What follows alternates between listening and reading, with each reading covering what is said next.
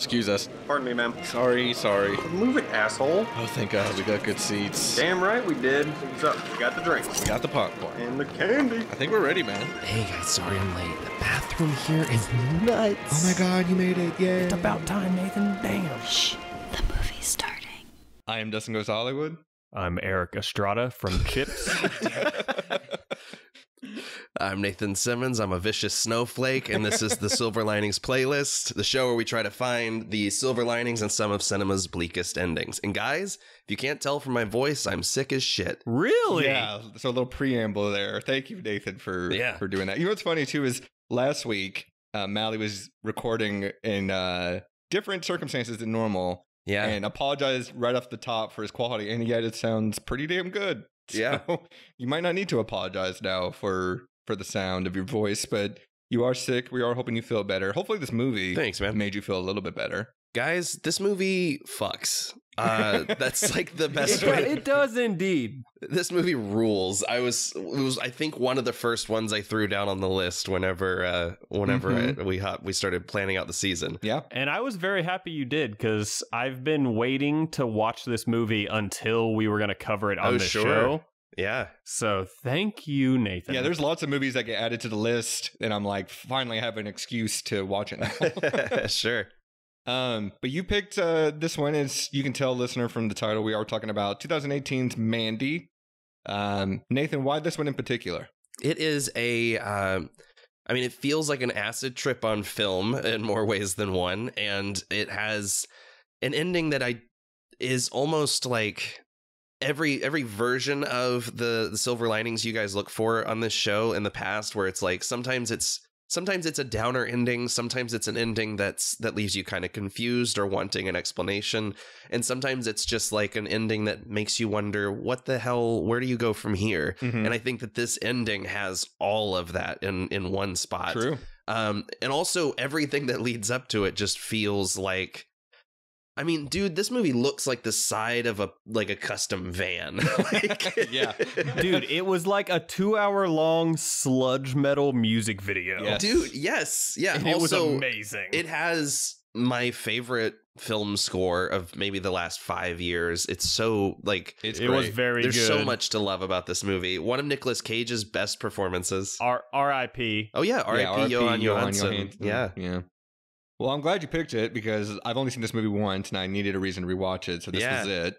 Um, so, listener, if you're new to the show, first of all, thank you for finding us. Secondly, what we like to do is watch movies such as Mandy, uh, that Nathan so eloquently, uh, eloquently put, is that uh, sometimes movies don't end with a happily ever after. Sometimes they end with things a little distraught, a little distressed. And this movie, uh, yeah, it comes in spades where you don't walk away feeling too good after the credits start to roll, especially this movie because there's no fanfare, no music, nothing over the credits. It's just Yeah, no, you're, you're yeah. left in your thoughts.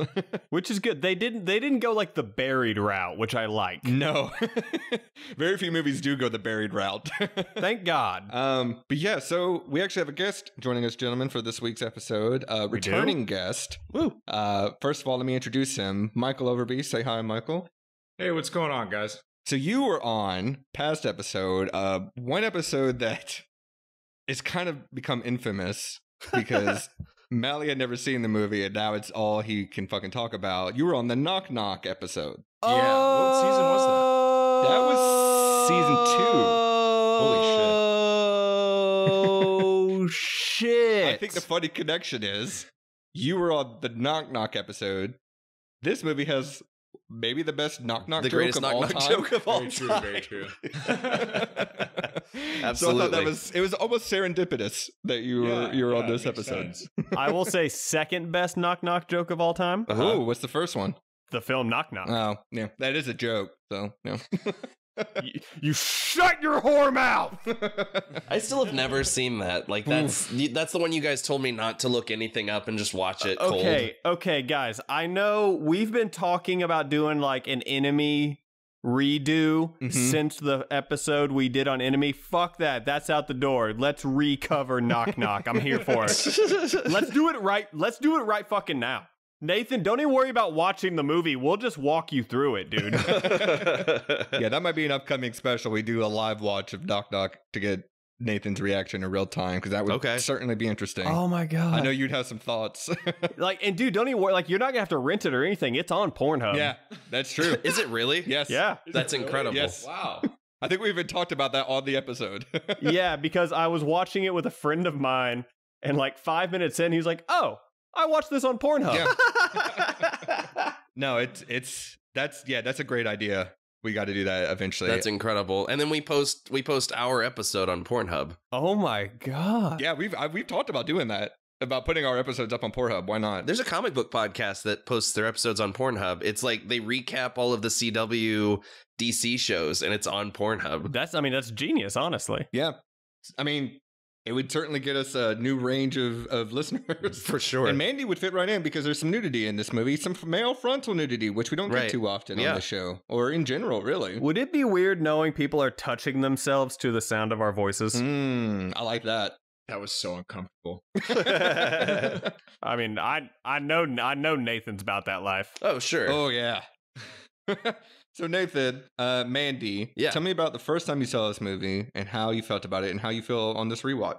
So I remember when the trailer dropped for this movie, I I was all I knew was that it was I think I saw it on Slash Film and they described it as Nic Cage in a doom metal revenge thriller and I said I'm in fuck yeah so I pulled That's up the trailer Spot Yeah. on. I pulled up the trailer, watched it, and um, the trailer focuses really heavily on like the otherworldly imagery. There's a bunch of shots of the uh, like the animated sequences and all this stuff. But the the bit that sold me was one Cage screaming the phrase "crazy evil," and then it, the trailer ended with the, if I remember correctly, the chainsaw duel, and I was like, Yeah. I, yeah, no, this movie, this is my most anticipated movie of next year, and uh, unfortunately, you know, it it it uh, it had a limited release, and I but I remember pre-ordering the Blu-ray and having a movie night with friends, and we watched it at like eleven o'clock at night. We're all just like a, a little little tipsy, and it was the perfect atmosphere just to like get a group of people together and and just dive into not really ex- knowing what to expect other than you know some crazy cage and i think we were all pleasantly surprised that it was a different movie from what we expected Yeah, it's not Cage being Cage as he typically is. no and i would say even with the uh even with some of the bigger freak out moments in this movie it is a much more measured performance than than people would maybe expect from this type of film With the exception of his delivery of the line, "You ripped my shirt." You ripped my shirt. Yeah, that's true. That's very true. Um, although I will say I've heard really great things about um, Pig also, which I haven't seen yet. As have I. That's a good uh, point that we're doing this episode on the eve of uh, Pig's release. Yeah, it, it seems like it's going to be uh, a good contender for this show also. Poss- possibly, yeah. I hear he even gets yeah, a more I can see it. restrained I can see it. performance in that than he does in this. So Wow. that's interesting. Mm. Um, this is one of the few times I think that none of us saw this in theaters. Am I right? Yeah. yeah, I did not. Yeah, like two of you have seen this for the first time for this episode. So, Yeah. Mallie, how about uh, how about you? How do you how do you feel? ab- I mean, you just finished it a few minutes ago. Yeah, yeah. no, we had to put we had to push the recording of this episode so I could finish the movie. yeah. um. So You're fresh. like again, like I I watched the trailer. I was like, fuck yeah, I'm down. And I just never like I was busy, never got a like super limited release, didn't get a chance. And then Dustin immediately in the classic Dustin thing after he saw it was like, I know what you're gonna say. like dude, we got to do this on the podcast. I'm like, well, Yeah. fucking spoilers, Dustin. Damn. yeah. Um, so I was like, all right, fine. Like, we're gonna do it soon. I'll wait and watch it. And then it just like we just never did the this movie on the podcast, so I Yeah. never watched it. Yeah, it just gets added to the list of hundreds of potential episode. So Yeah. And then finally, like Nathan locked it in, so I was like, okay, watching it finally. And uh holy fucking shit. It rules. movie fucking rules. yeah, it it's does. so good. Yeah. Yeah, I know. I love this movie. Like, all right, uh, established, very well established. I love a cult movie. Yeah, yeah, for love sure. a cult Yeah, movie. yeah. We should have done this last season when we were doing all the cult movies. Right. I know. I mean, that's I mean that's why Halloween Six is the best horror movie, right? Yeah. Yeah, that and it inspired every movie after it. Yes, it did. Mhm, including Rise of Skywalker. Uh, go back to our episode to to discover how Halloween Six is the Rosetta Stone.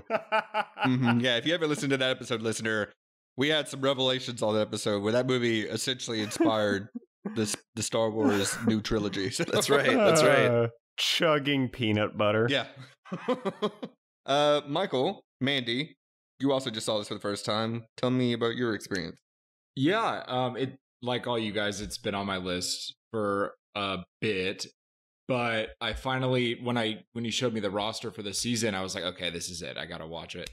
So very similar to your experience.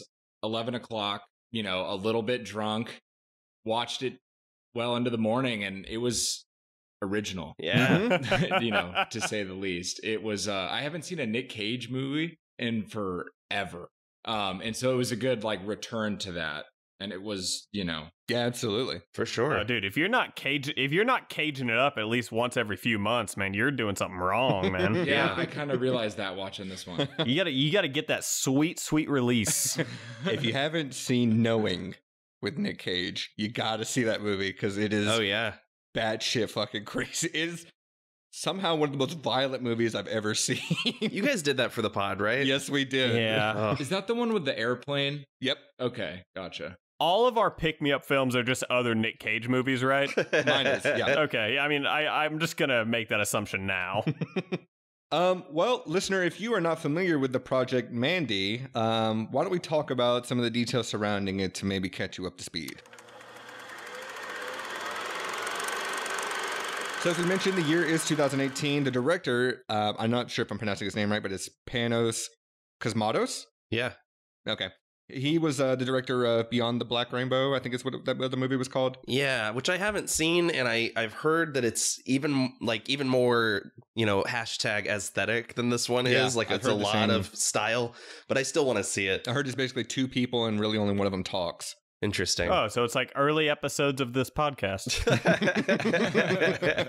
He seems kind of, you know, Mallie, maybe you can appreciate this too. He seems kind of like uh he has the same kind of style as like the director of Under the Skin. Like Oh, very sure. slow burn, very aesthetic Mm. aesthetically uh, inspired, you know.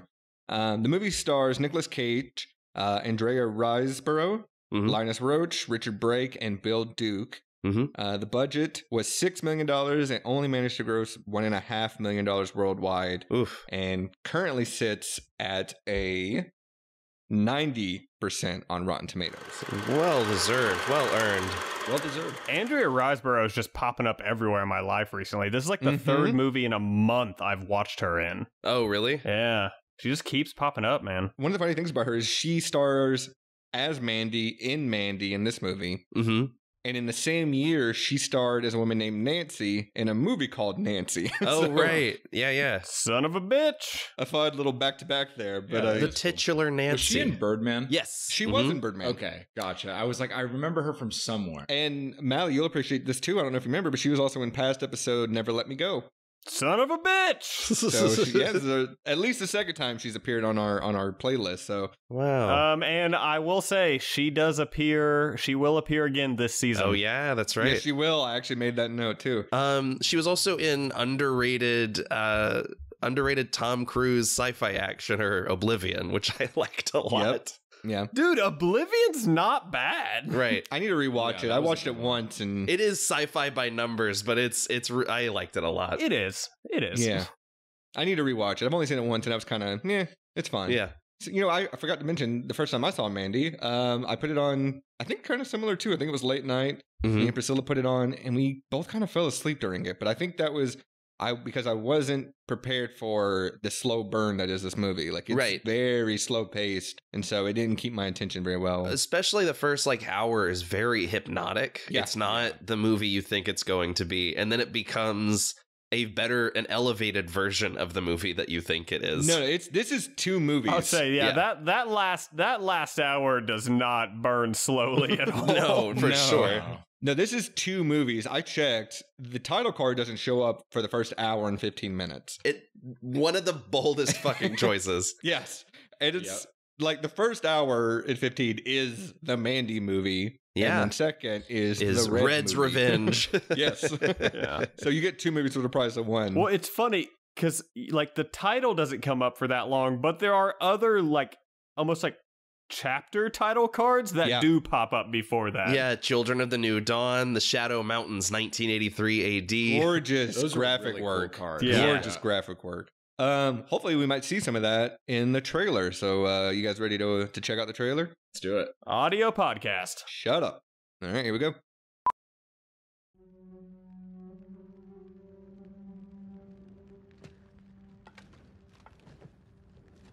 The score is so good. One of uh, Jóhann Jóhannsson's final scores. Yep.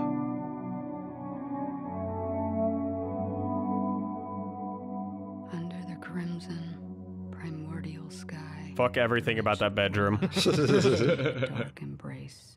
Tell you what though, Mandy's got a fucking style for t-shirts. Yeah. Fist closed around. Yeah, she knows how to wear a Black Sabbath shirt for sure. Oh yeah. Strange Don't sleep on the Mötley Crüe when she wears in the gas Oh, station. Oh, and Molly Oh, Crew true. one's great. You know what to do. You know, we kind of talked about this before, but when they use the, the term visionary director, it often doesn't really suit me. I feel like I feel like he's a visionary director.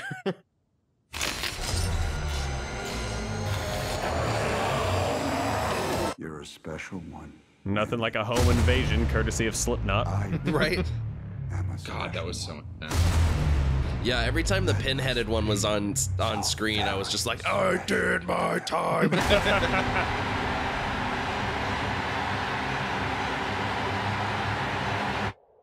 this is a great trailer. it's a gr- yeah, it is. So what you gonna do with that thing? I'm going hunting. So what you hunting? Crazy evil.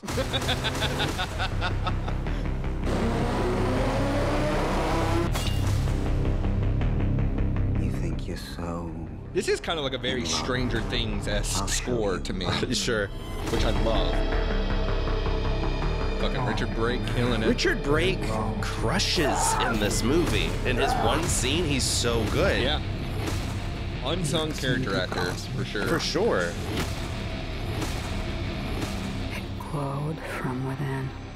Strange and eternal.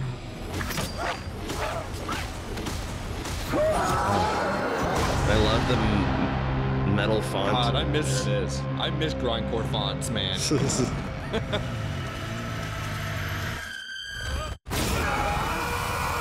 Yeah, trailer Oh. cuts out while he's screaming and holding a chainsaw. I'm just like, yeah, okay. I'm.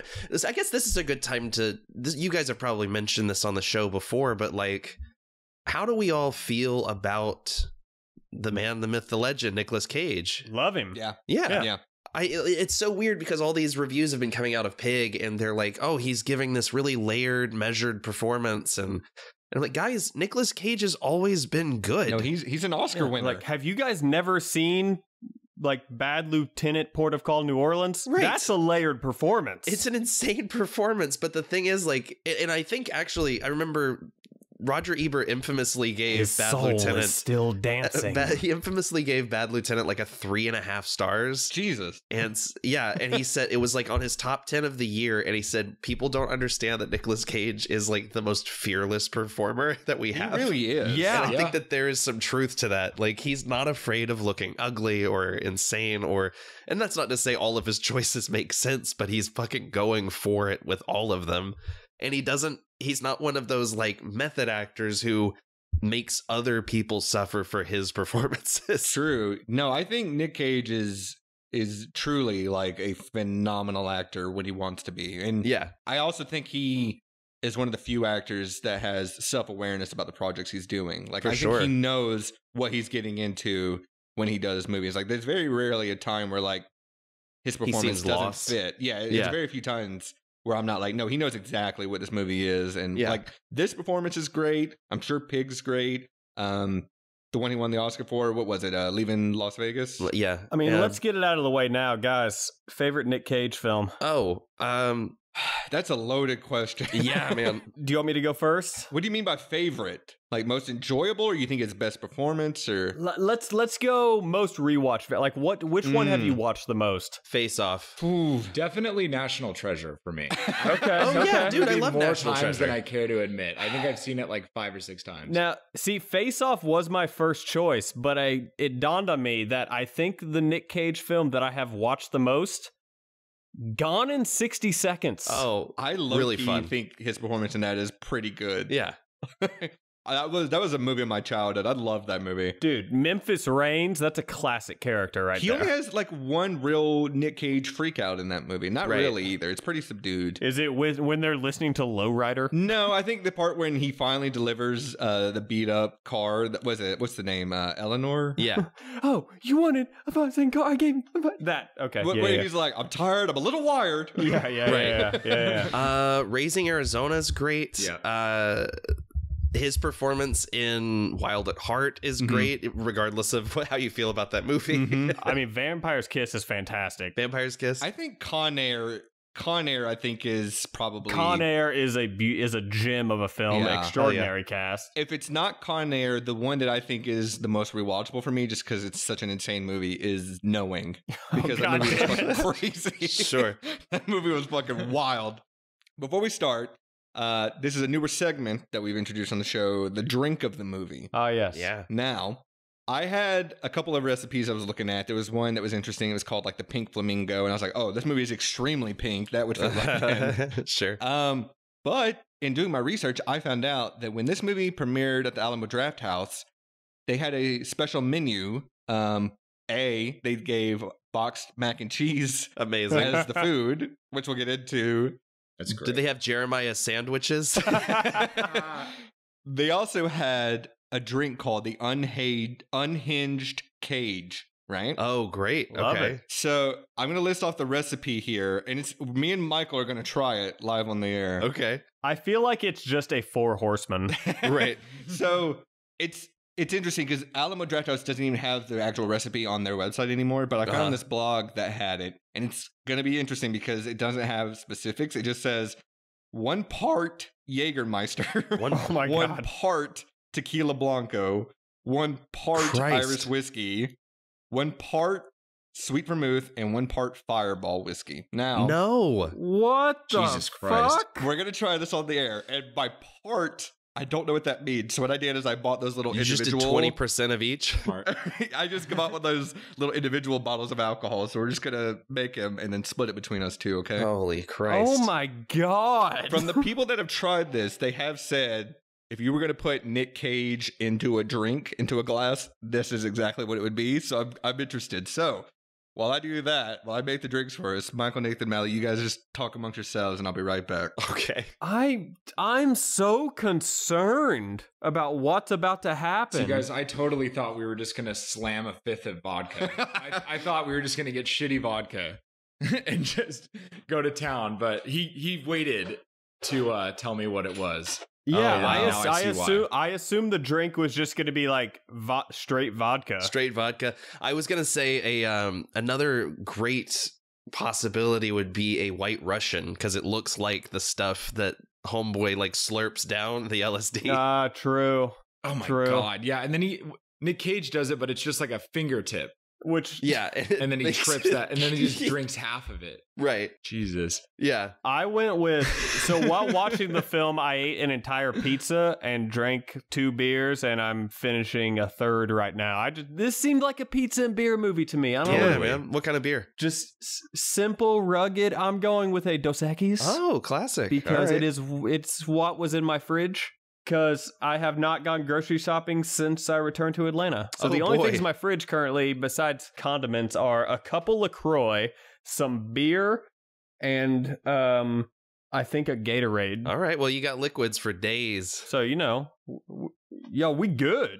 We I'm Yeah, I had uh, PBR with mine. Nice. I just felt Nice. like light, you know, beer, light trash beer would be awesome. Yes. Did the vibe? yeah. Yeah, this has a very this has a very like beer with the boys vibe for like the first first like 20 minutes of the movie when it's just them out in the woods. yeah. Uh, you know, f- uh, having a beer on the helicopter. Rejecting the beer. I, I got up five minutes into the movie and went and put on a flannel shirt. I was like, this just feels right.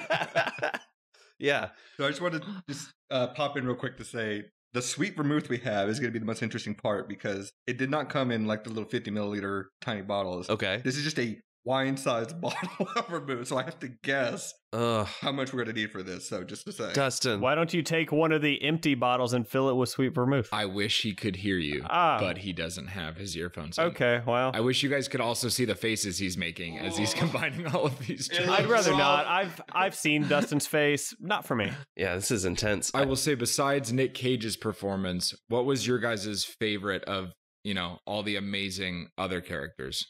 Man, I like I said, I think I think Andrea Riseborough is really great. Uh, with she she does so much with just glances. Dude, she's she does that in every movie she's in. Her eyes are incredible. They are genuinely incredible, and we have that in- amazing little scar that draws extra attention to her eyes. And like I don't want to I don't want to spoil the film that she pops up in later in this season, but uh Mhm. Her performance in it is so good. that's what I've heard. It's absurd. yeah, All right, guys. Now, this is right now it's in the shaker. So I don't even know what color this is. We are going to be able to hear your insides gurgling. yeah. Let's do it. I got to tell you. It smells bad. Just no, no, it doesn't smell too bad, but the Jaeger's kind of overpowering. Uh, Michael, you take us just a, a whiff. Ooh, man, it is overpowering. It mostly smells like Yeah, I haven't had Jaeger since I was like 21 and in a band. chug it, chug it, chug it. Th- this mixture. Remind us what's in it again. All right, so the recipe is uh I just love that it says one part Jaegermeister, one part tequila blanco, Uh-huh. one part Irish whiskey, one part sweet vermouth, and one part fireball. Yeah, I think that's what the water is made of on that beach that makes you old. There's too much fucking sand on this beach. I hate sand. It's rough and it gets everywhere. yeah, what would uh Carl Havoc look like on that beach? All right. I let's take a guess. What hue, what color do you think is gonna pour out of this bottle? Grimace Brown- purple. just Be for sure brown. Jaeger. It's gonna be purplish Jaeger, right? Uh, yeah, Like, it's that- gonna look like Grimace. It's gonna be deep purple, which is I think is fitting. So Yeah. all right. Bam, Here we go. bam, bam. On the water. Okay, it's no, it's like a like a caramel whiskey color. Oh Well, boy. I was closest. Okay, Woo! so they said this was a shot, but this is this filled up a rock glass. That's All right. because you can't measure. That's because there is no measurements. It says one part. well, okay, hang on. But I mean, if there's so five parts, then you wouldn't be knew like- it was supposed to end up being one shot, right. but you knowingly put in more. 500 milliliters. I will say this. I will say this too. We'll try this. If it's not good, we can maybe try adding some more vermouth to it. If not, I totally respect your decision to sit this one out. oh, mm, it- Dustin can't. Dustin has to finish it on air. that pour even sound. That pour sounded thick. Dustin's got to finish his creation. it sounded heavy, right? It's It's thick. it's sludgy. oh oh, god! like like like the soundtrack. no, no, no. I'm just yeah, yeah. All right. So We'll take a sip. no, we're not doing shots. We'll take a sip and we'll oh, s- Oh, we'll see how we Nathan, feel keep about going, it. Okay. man. All right. Cheers, man. Cheers.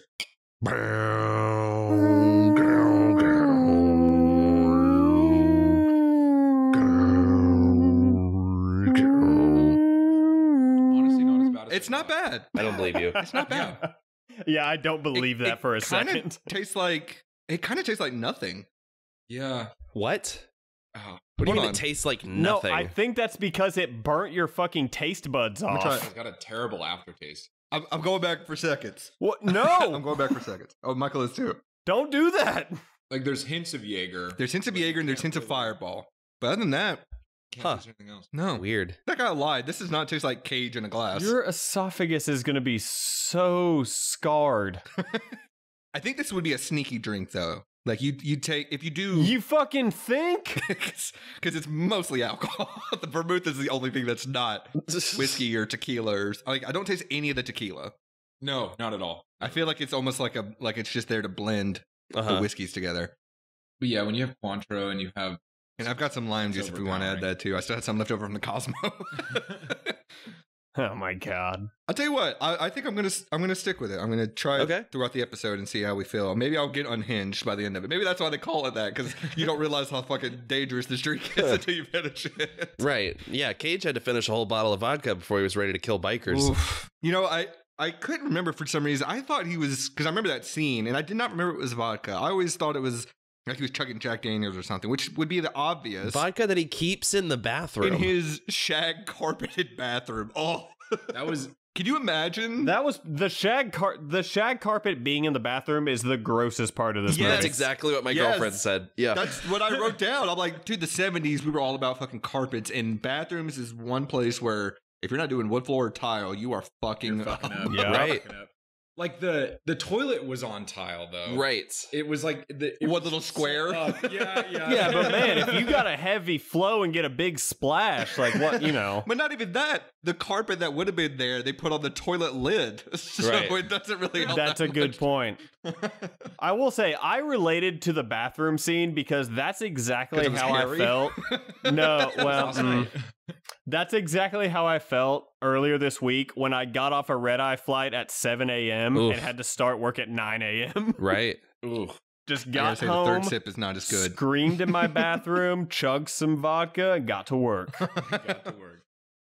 All right, let's get into the movie. Yeah, yeah. Um, Yeah, before he blacks out. yeah, for real. Now I regret the third sip. With every other sip, it gets worse. Yeah. I Yep, that's going to continue. you had a you had a, a, a, a inkling of a thought there, Nathan. What, what were you gonna say? Oh, I was gonna say. Speaking of work, we we meet Nicolas Cage on the job. yeah, Uh, I was gonna do the same thing. Just get us into the get us into the movie. yeah. great absolutely. segue, buddy. Thanks, man. Great segue. I tried. Yeah. I, I do have one question Yeah. uh, before we really get into the details of it. Um, can any movie, any movie, be under two hours anymore? Oh, sure. can any movie? Why is Space Jam two fucking two hours long? Why? Where Is it really? What? Yes. Where are these ninety-minute movies gone? Which is which is so funny because the first Space Jam is 69 mo- minutes with credits. Yes. why? Why? Why? I mean, this movie. I feel like I get the, the aesthetic, but I'm like, you don't. You there's 30 minutes of this movie you could trim up. some Yeah. There stuff. is, but I'm glad it's not. This is one of the few movies where I I am actually happy with every lingering shot and weird hypnotic focus. And yeah. Same. I, I don't. I would miss that 30 minutes. I feel like there's like five percent of every scene that I'm like, this is a little too long. Like I, I enjoy the longer takes, but I'm like, Yeah. there's some of it that we can like. There's moments though, like, you know, we we hang on him, her coming up out of the water and walking towards him, and he's just in awe of her. And it's almost like the flames part for her, like Mhm. just the, giving it that long focus. You get so much more out of, like, Yep. like I was saying right when you were when you were making the drink. Andrea Riseborough's eyes are so hypnotic. Mhm. Like anytime there's a moment to just kind of take in her features and the the like the the hold that she has over people in this movie, I think it's just it's really cool. Like I think it's a really interesting choice. I agree. I thought the same thing, but I think you need the extra long takes to just get into the world. Yeah. yeah. You know? Yeah. Sure, sure. I mean, this movie is psychedelic as fuck, and that's kind Yes. of the point. So, I, I mean, I'm like I said, I don't I mind. mean, we start with a we we start with a King Crimson song. That's like a statement of intent. Like we're gonna watch we're gonna watch a blues like uh metal psychedelic movie for the you know the next two hours for sure. I mean, I I will say, I if if Nic Cage was oh you don't like that That is third sip. Yeah, the third sip. Oh, Jesus. I will say, if Nic Cage wasn't an actor, I feel like the career he would have would be a lumberjack. Sure. Like he he seems like he would fit in right right as rain. It- Where does this movie take place? This feels like it's almost like um like n- almost up towards Alaska, like that kind of Pacific Northwest. Somewhere, somewhere near the Shadow Mountains, Dustin. Pay attention, jackass. aren't, yeah, aren't the Shadow Mountains a real place though? I have no clue. yeah it's in the Mojave Desert yeah, that's right. It's in California. Uh, wait, wait, what? I mean, that would make sense. Upper California is mostly wooded areas anyway. yeah Uh, okay, well, I guess I was wrong. But it also like as the movie goes on, it becomes more of this otherworldly, fanciful location where you're just like not sure if we're seeing what's really there or if Cage is, you know acid trip slash uh slash you know mental breakdown is progressing. Exactly. I, I was gonna say before we poured the this drink out of the shaker, I thought it was gonna be like that uh moonshine jar that he he takes the super drugs. Like that's what I was expecting. That's exactly what Nathan That's said. that's what I was saying. Is I was saying the other the other drink of the episode would be a White Russian. Oh yeah, if we ever do Big Lebowski on the show, White Russian's the drink. my f- my first official note for this movie was Yeah. sleeping in a big room of windows. Fuck that. Right. I agree. yeah, that's terrible. That's, That's like uh Hell no. What's the girl from uh, Drag Me to Hell? The the lead actress. Sh- her Sure. sleeping with the window open. Fuck that. Like no, No. no, no, one hundred percent. Like absolutely not. I, I'll pop a window open, sure, but also Yeah. I live on the fucking sixth floor. It's fine. yeah, if you're on the first floor, no. It, it gives Panos Cosmatos an, an, an opportunity to uh, put that aurora effect inside the room because otherwise he wouldn't be allowed to. That's Fair why it's so it's so shocking, so jarring. Like the first time we see the inside of Jeremiah's house, Mhm. like where there's just natural lighting because otherwise we've seen Nic Cage and Andrea Riseborough in their bed and there's still just like flickering aurora lights Yeah. coming from Now, outside. my first official note was: uh, Did you guys recognize who produced, helped produce this movie? I missed that. Elijah It was, uh, Wood. yeah, yeah. Elijah Wood. Elijah Oh, Wood. yes, yeah. right. Oh my god, I was guessing. it kind of makes sense. Like I feel like Elijah Wood in his later careers. well, no, I mean, yeah, he's he like he started that production company years ago that only does like weird shit like this. Him and uh, Radcliffe, man, they're both. oh yeah. yeah, they both escaped their their earlier hmm you know IPs and were able to Right. make careers out of it. So that's good for them. He um, Elijah Wood apparently helped uh, get Nicolas Cage the the role because uh, uh, the director had originally approached Cage to play Jeremiah Sand, and he said that he was more interested in playing Red. Mhm. Oh, and wow. then after they had like they couldn't come to terms on it, and then Elijah Wood like arranged a meeting for the three of them, and then they all just kind of talked it through, and Panos realized, oh, okay. This guy totally gets what I'm going for. Then I'll I'll, I'll trust him with the part. I kind of want to see a remake of Mandy, same cast, but just But switch. him as Jeremiah. yeah, just Yeah. switch. Linus the- Roache. Yes. I feel like he'd rock that too. yeah, I feel like I could see Nic Cage as a cult leader. Oh yeah. Why not? Yeah, why not? Or remake Bad Times at the El Royale and put him in the Chris Hemsworth role. I I would watch that. right? I'd watch that movie. Yeah. I, I'm looking at the uh, IMDb page for Mandy right now, and the second, the first image is red with blood all over his face from the chemist scene. Yeah. The second image is Vince Neil What? What? at like looking looking bored at the premiere. Oh, I guess they invited him because of the Mötley Crüe shirt, maybe. It's so fucking funny though. It like that's the second image on the IMDb page. That's funny. oh my god, you're right. It is. What the hell? I want to. I'm sure you guys mentioned this while I was off there, but Andrea Riseborough, I think, is a fantastic actress. I think She's she's, great incredible. in this movie. yeah. I will say one thing I think I find appealing about her. She has that same sort of androgynous kind of aura to her that like Tilda Yeah. Swinton has. Like a lot of actresses don't have that, and I, I appreciate it in this movie, especially when they do.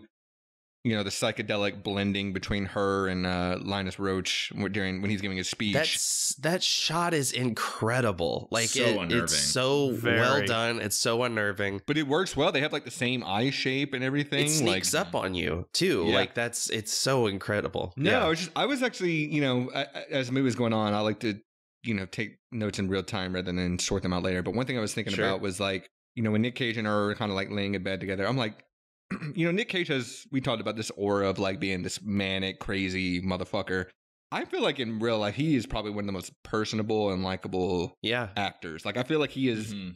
for sure down to earth. Like I think I feel like he's like this. Like he's so tender in the scene. Yeah, I do. I feel like that would be. He's like very timid. I feel like he would be co- cool to like have a beer with and just sit and talk, and like you would get a lot out of that conversation. I mean, he named his he named a he named his kid after fucking right. Superman. Yeah. So and kid- it- I mean, Kal-El. he took his name after a Marvel character. so- Right. yeah, true. That's right. Uh, is it Luke Cage? Luke Cage. Yeah. Luke Cage, A yep. lot of people mistake that for Johnny Cage, but Yep. no, it's Luke Cage. I love the conversation that they have where she's she's talking about how much she loves Jupiter and she loves the she she there's like a storm that's always brewing and Mhm. if it wanted to it could consume everything. And I feel like she's describing Red, you know, this Yeah.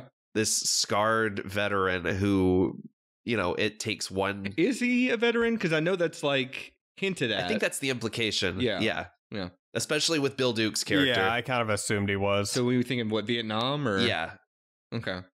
No, I, I agree, and I also like you know when she asks him what's his favorite planet, and he has the Galactus line. Galactus. It's kind of true because he comes in at the end and just destroys everything. yeah.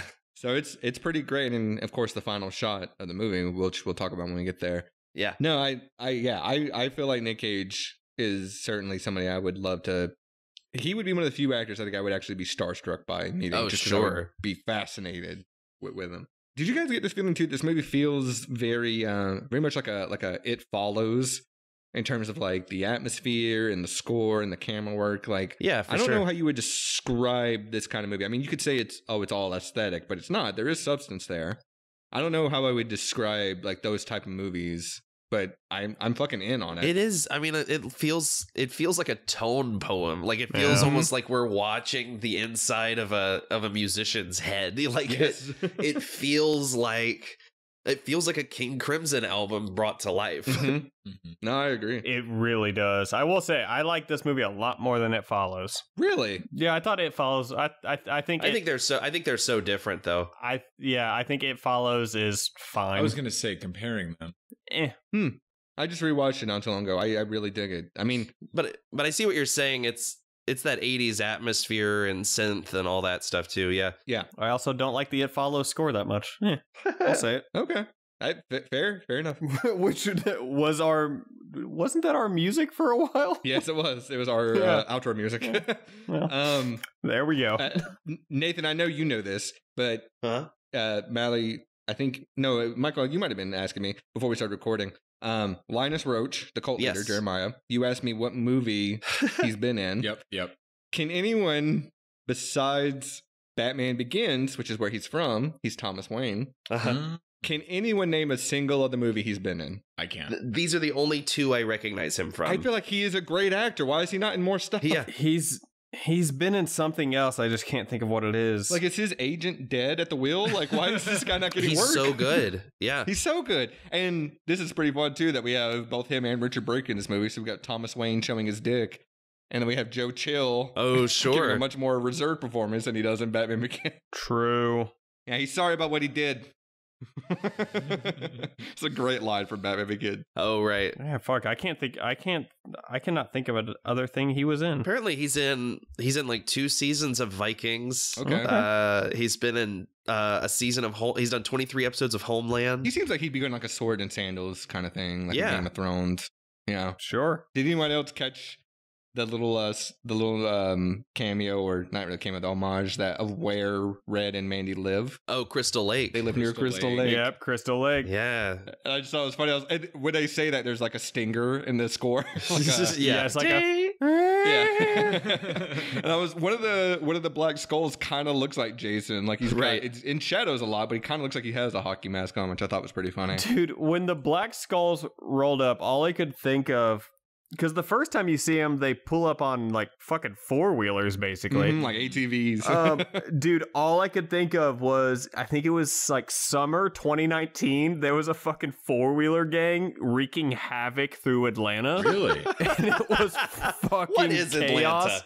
But awesome. Like, dude, you would just be like sitting at an intersection and then 20 motherfuckers on ATVs would just come cruising by, That's insane. just like wrecking shit. It was awesome. uh, Michael, I'm gonna call a truce.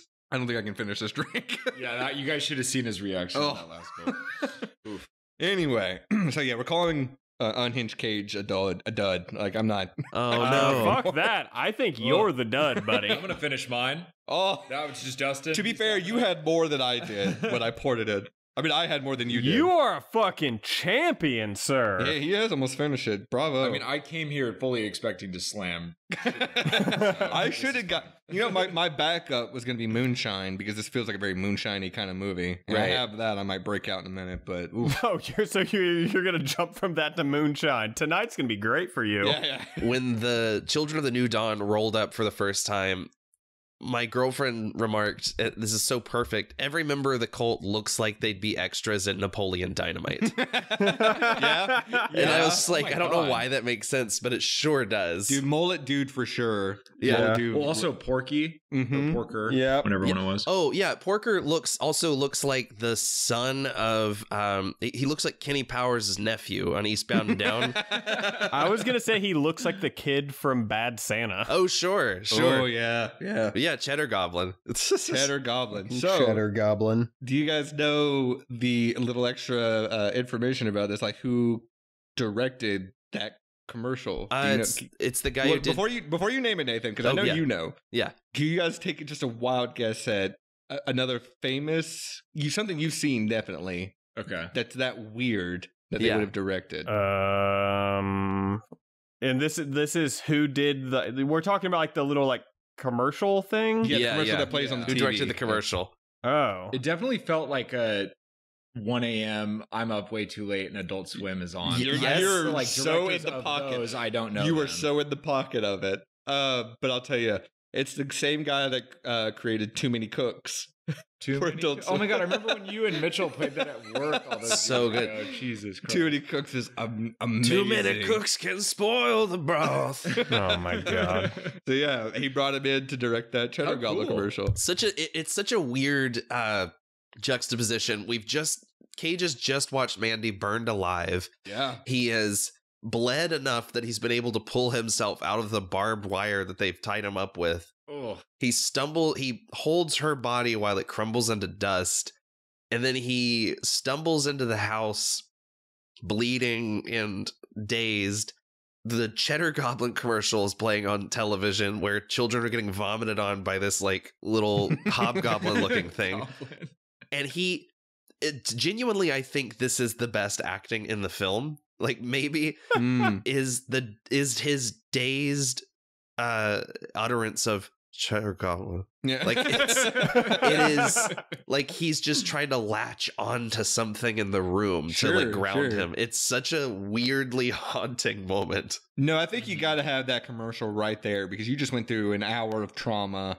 So you need something to, yeah. let's let's discuss that hour. Sure. Um, let's talk. I have a note that just in all caps says "fuck big wasp." Oh yeah. oh yeah giant wasp yeah They're- Dude, it's a fucking like. Do you know what that is? It's a fucking. It's like the most metal fucking animal alive. It's a fucking tarantula hawk, is what it's called. is that real is that so name. oh Fuck god that's a real that. thing Fucking sting. It'll like fucking like they literally. It's a wasp that hunts tarantulas. oh Holy my fuck. god i just So- looked it up and i want to kill all of them No. So like it. Listen to this shit. It pa- it paralyzes the tarantula and then lays an egg Ugh. inside the tarantula. No, shut the fuck up. and then when the fucking dude, when the larva hatches, it eats itself out of the still living host. fuck so it's it is the most metal Jesus you're right Christ. Tell me that's not the most metal fucking of animal. course that's why And how was it? oh my! It's dude. The moment that popped up on screen, I'm like, nope, nope, absolutely fucking not. Fuck. And I, That. uh, man, I love uh, Linus Roache's monologue is insane Yeah. about Jeremiah. Like he, he's like he does this whole thing that's sort of Patrick Bateman esque, where he asks her how she feels about the Carpenters. He thinks they're beautiful, they're wonderful. You don't have to finish the drink. Sorry, I'm gonna you finish don't the have to drink. finish Pour the drink. I'm gonna finish the drink. yes, you do. Oh, there's just a look of pain. Ugh. But no, Nathan, I agree. He he's like doing this like Patrick Bateman meets Charlie Manson type thing. right, but then oh, he. oh, it's very Charlie Manson. but he like Yeah. he talks up the Carpenters and then puts on his own album and says I'm this better." is better. Yeah. and by the way, It's a bold move. Jeremiah Sand, Linus Roache has recorded an entire Jeremiah Sand album that came out last year. yep. it exists. Um, produced by the dude who's done like three Sunn O))) records. oh my god. that god, makes that a lot sense. of sense. Yeah, that makes sense. Um, I will say he has one line in there that where he just says his hot, loving light. That's Jesus semen, right? I guess, probably. Like yeah, I guess. it is. he's he's so good. He's so pathetic and scary at the same time when he starts screaming, Don't look at me, and she's laughing at him. It is such a Oh, but he keeps going. Shut up! Shut up! Shut up! Shut Yeah. up! Yeah. it's such a fuck yeah moment when she starts laughing. he goes from like full on like goodbye horses Yeah. into Right. like just this pathetic little shell of a man and it's fucking brilliant It's so good. He's like, You wanna fuck with me? and then he burns her alive. Yeah. Yeah. She looks so demonic when she's laugh like laughing at him too. it's great.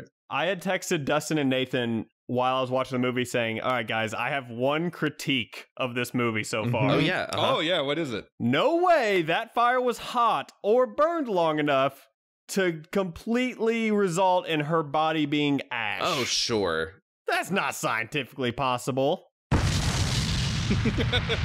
Revelation. I love the soundboard. Thank you. I think that's more of this movie's selective realism. It has to be a constant. I I did the I did the research. I did the work, guys. Oh boy. Okay. Oh, I did You some research work? too.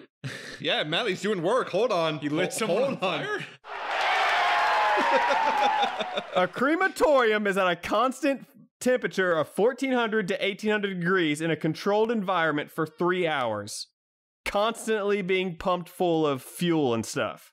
The average the average gas fire is between 500 and 1500 degrees up until the gas burns out. No fucking way her body's ash. So what you're saying is No fucking way. this movie got some of the science wrong? Yeah. Wait, so LSD doesn't make you invincible? Well, now I mean, it, it does if I you're not haven't pussy done about that. it. I have not done that research. I have not done that research. You know what? It's funny you say that about the fire because I actually did some research about uh, the end of the movie, um, which we can kind of talk about real quick, just because this is a great segue. But like Sure. when he crushes Linus Roache's head, oh yeah. Like I actually did some research like that. What would it take to crush a human skull with your bare hands? And basically, the consensus is it's not really possible. you can't. Right. He's they're like Apply that pressure. well because I actually did some research. It was when Game of Thrones, the character the Mountain does that, Yeah. crushes somebody's head. Right. Yeah. That they you were can't crush someone's head. you not you cannot with your bare hands squeeze hard enough to crush a skull for it to pop like a watermelon like that. Right. They're like That even a guy as big as the mountain can't do that. was say, he's like because the Yeah. thickest the thickest piece of bone in the human body is basically the skull. Mm-hmm. yeah. Not mine, buddy. Like so, Nathan's got that soft head. there's actually like from certain heights. Like if you're jumping from a certain height, they recommend falling like letting your shoulder take the first hit and your head take the second hit Ooh. because at a, from a certain height, if you try to land on your legs are on your butt, it'll just shoot your fucking pelvis and spine up through your organs. Oh fuck. like uh, Will Smith in Independence Day. he ejects from that that spaceship. yeah, Oh, right. exactly. Yeah, but his legs explode. No, actually, it's funny you mentioned that. I did some research too about that. They're like the best way you can survive a fall from great heights is to be drunk.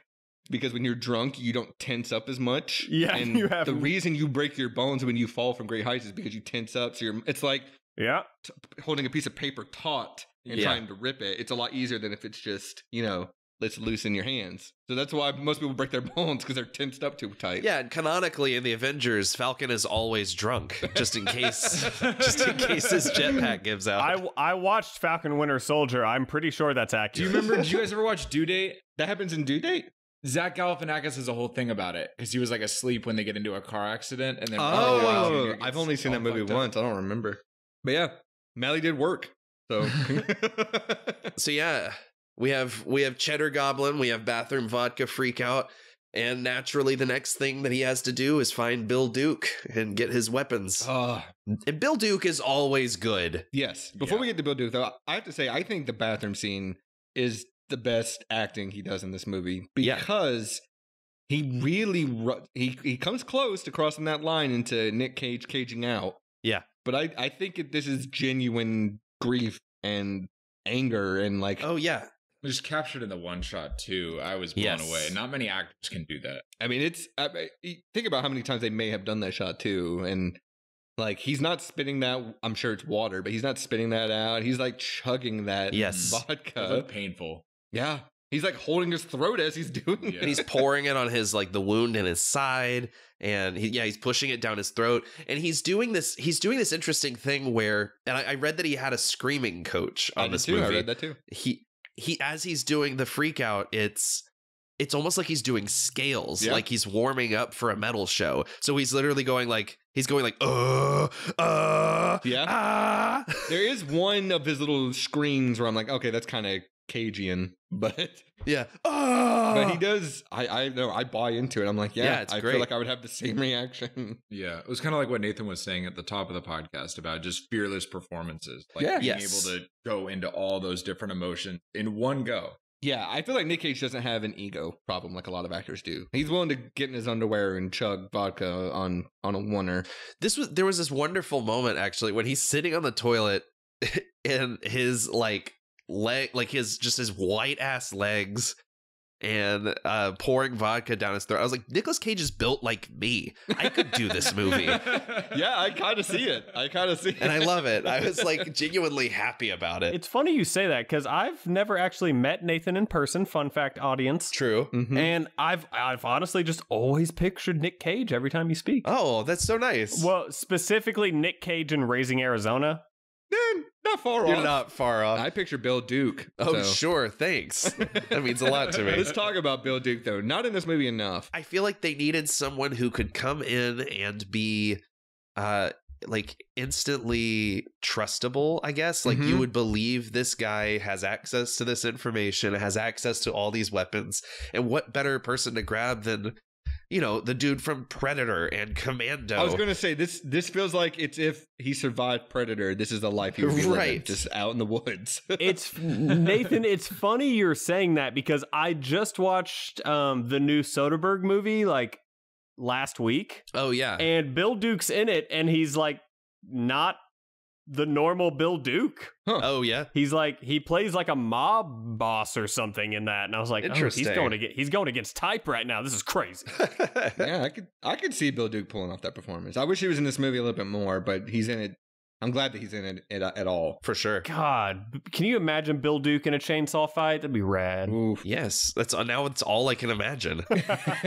I was doing some research right after you know the Nic Cage bathroom scene as to like you know Nic Cage during the making of this movie. Um, I found this note interesting. This was the first movie he had done after his divorce. So he was married for 14 years to Oh, yeah. um, to Alice Kim Cage, and he said that his performance in this movie was inspired because he didn't know where to put all those emotions of having his divorce just suddenly end. In fact, Wow. he was quoted as saying, um, you know, th- his his marriage came to a quote a sudden end, a shocker to me. I didn't see it coming, and those feelings had to go somewhere. So they went to this performance. So that makes it all the more tragic that this movie is about him and his wife or his girlfriend yeah. dying in front of him, Yeah. and like that's why I'm like that that bathroom scene. I feel like is almost like we talked about this once before, Mallie, but like um, Jennifer Lawrence in Silver Linings Playbook, where she's confronting Bradley Cooper on the street, and I'm like, I don't know if that's necessarily acting. I think that might be a real genuine thing she's Yeah. working through on camera. Yeah. So what you're telling me is that the bathroom scene was actually Nic Cage just on set, and they were like, "Roll the camera, roll Right, the camera, roll right, the camera." right. Maybe that wasn't planned. this shit's good. Um, Yeah. yeah. Cage was working through that, and then uh, the director was working through the death of his parents. Yeah. Like he he said, the movie was about grieving his parents, and so like everyone's kind of working through loss in this movie, and you can really see It's that. very therapeutic, yeah, kind of movie for sure. Which, by the way, uh, Panos Cosmatos' dad, George P. Cosmatos, directed like some great '80s trash like Cobra and uh, I did not know that. Ram- Rambo First Blood Part Two. Like the dude's Holy a shit. the dude's a legend. Yeah. So he's responsible for for taking Rambo into the strange direction it went in from the first one. right, essentially. Ugh, I don't know if I like him for that or hate him for it, but you uh, gotta if yeah. you haven't. Oh, he also made Tombstone. Like, oh come on. fuck Yeah. yeah! Um, this is where we get introduced formally to the Black Skulls with their Yeah. exposition. I mean, we get them a little bit earlier, but uh, this is where Bill Duke kind of lays it out about them. Um, there is some hints of this, but I guess it's never fully addressed one way or another. Is there anything technically supernatural going on in this movie? I don't. No, think so. I think they just like tripped out on some bad LSD and started eating people. Yeah, I I think We've all been, we've all been there. We've all had that day. Michael, you Yeah, feel like you're debating. Well, they don't have any like superpowers. Like they're clearly. I mean, the guy's got a. a That one guy gets an penis, arrow through his throat and pulls it out like it's fucking nothing. No, you're right. Right. You're right. But that could also be I'm hopped up on fucking LSD. Right. Yeah, I think that that's all the drugs, bro. As someone who currently lives in the state where people get their faces eaten by dudes on bath salts, I think like yeah. it makes sense. Yeah, that's Um, true. Nathan was watching this movie. He's like, I thought they said this was trippy. This just looks like a Tuesday in Orlando. right. Yeah, exactly. Yeah, everything Exactly. in, in Florida is coated in a pink light. That's right. Yeah. Oh, ever since we got that uh, Chinatown district as Yeah, seen uh, in Godzilla Godzilla, versus versus Kong, oh, yes, of course. How could we forget? yeah, conveniently located right next to the in Pensacola, the Florida, next to yeah, our robotics the- factory. Yeah, yeah, yeah. yeah. um, I mean, is there a better moment in this movie than Nic Cage getting into a fight with a guy, throwing him down a bottomless pit, killing another guy, and then snorting a huge line of coke? Like, That was. He snaps that dude's fucking neck. I have. My first note on that scene is he just killed the gimp from Pulp Fiction. yeah, Ha. yeah, I feel like that too. I love when the gimp says, "You have a death wish," and he goes, "I don't want to talk about that." Yeah, it's great. so, do rusty box cutters freak anyone else out? Or is it just me? Yeah, yeah. Like, I don't know what it is. Like, I, God, like, there's two ways I don't want to die by drowning and by getting cut by a rusty buck. That's also my stripper name. Rusty box Rusty. cut. Oh my God. Rusty box cutter. Coming to the stage, Rusty Box Cutter. At treasure chest from Gone Girl. There's what were you gonna say, Michael? I thought about Russ when they had his hand like nailed to the wood Ugh. when he was also chained up. I was like, this guy's got a week to do all of this, or Yeah, else he's gonna done. die Like. So, he yeah. drives off and you just pass. He's gonna get tetanus if nothing else. He's mostly tetanus. He's yeah. been fucking stabbed in the rib cage. He's been fucking strung up with barbed wire. He's been handcuffed to a pipe and a nail through his hand. Hit on the head multiple times. oh, Like yeah. We skipped the car flip when he kills the pinhead Yeah. guy. I forgot about the car flip. Good car flip. We got to talk too about this cult because there's so much going on that they don't give you any information on. There's the Sure. wasp, first of all. There's the horn of Abraxas to summon the skulls. There's the the the The blade. dagger. yeah, the Yeah. the blade of the pale knight from the abyssal lair. there's a lot going on with this piece of human excrement. oh, we didn't even talk about uh Linus Roache showing off his dick to Mandy, which apparently he's he had some uh, he was supposed to be masturbating when he did that. And he said, "Look, I'll get naked, but I'm not doing the masturbation." And he said the only reason he was convinced to do the nude scene because he had reservations about it was because he saw Margot Robbie do a full frontal in Wolf of Wall Street. And he's like, "Okay, I'll do it." And he, he was like, he was like, I look at least seventy percent as good. Oh, he weird. did masturbate though. Well, I guess A- it was more of a close. A little, but he was supposed to be like full on. Gotcha. Yeah, he he was definitely doing some tugging. Yeah, he was Yeah, he was scratching them thighs, tweaking them nips. Mm. nope. Nope. this is also where we start the animated sequences that look like something yeah. out of the heavy metal movies. I was gonna say it's interesting that so rad. Mandy dies, and then everything we get of her after that is animated until he finishes his mission. She's only Yes. animated up until that's a very interesting choice. She's to haunting his dreams. Yeah. Mhm. Uh, did anyone else feel like because we didn't talk about this really, but um, his his axe that he forges, Oh, fuck. The beast. I, feel it's great, but I feel like it's a bit of a hat on a hat because he also has the bow that he calls the Reaper. I think. Yeah, the Reaper. I feel like it's a little bit of a hat to give him two unique weapons. You know what I mean? he doesn't and he doesn't use the axe enough. Agreed. No. But I feel like great. you could just if you don't give the bow the crossbow a name, then it's just I've come to get a weapon.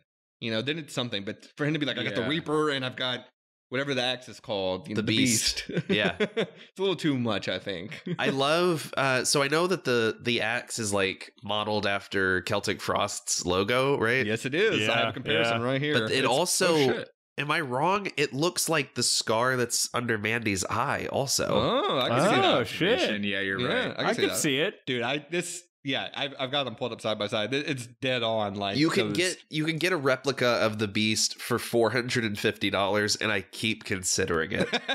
Oh, is it like actually shit. made of of metal or is it like a plastic like it's like a yeah, it's like a metal reproduction. oh my yeah. god yeah, yeah, yeah, has this been on forged in fire yet or whatever that show is called because they gotta make this at some point No, it's badass. Well, when Florida finally like fucking pops up and revolts, Nathan, you're good to go, brother. That's right. Uh, it's sold out. Nathan, you got to go on that forged and, in fire or flame or whatever the fuck it's called, and Man, fucking I like pitch this. legitimately, I legitimately cannot wait for the Floridian Civil War. Yeah, where we're protecting our civil liberties. with Ge- Georgia's going to be involved with that at some point. Ugh. That whole bottom east or uh, yeah, bottom east of the country is going to be involved in something.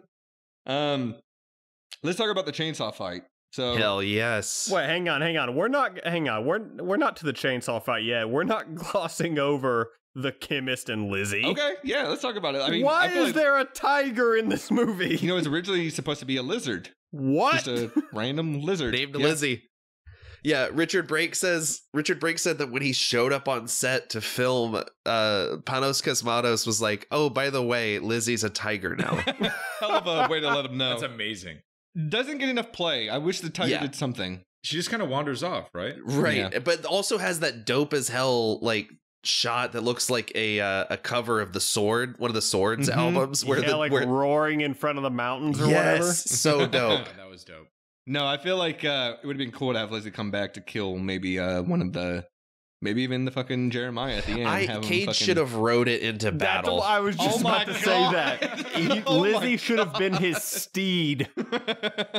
Hell yeah, that would have been fucking dope. But dude, how good is Richard Brake in that fucking scene? He's though? great. It's great. They they've wronged you. Oh, he was amazing. Oh, so good. I was kind of, I was kind of half in at that point because I was a little drunk from the moonshine. But uh, what exactly happens to his character? Did he get? Does he get killed right there? No. He doesn't. He just walks off, right? Cage, Yeah. Cage, uh, yeah, he just tells Cage where to find them. He goes to go to the north. Yeah. Most vague directions ever. Yeah. Cage shows up and he's like, "Oh, they've wronged you, the children." yeah. No, He Cage is great in that. in that scene. No, I I don't think Cage says anything. He doesn't. First, he's like, "Oh, like yeah." There's a whole one-sided conversation. like somehow the chemist is convinced. He's like, "You're right. I should let my tiger out of its cage." And just like, Yeah. let's Lizzie out. Yeah, Cage is just communicating through glares at this point, and uh, I love when the when the chemist switches the lights on.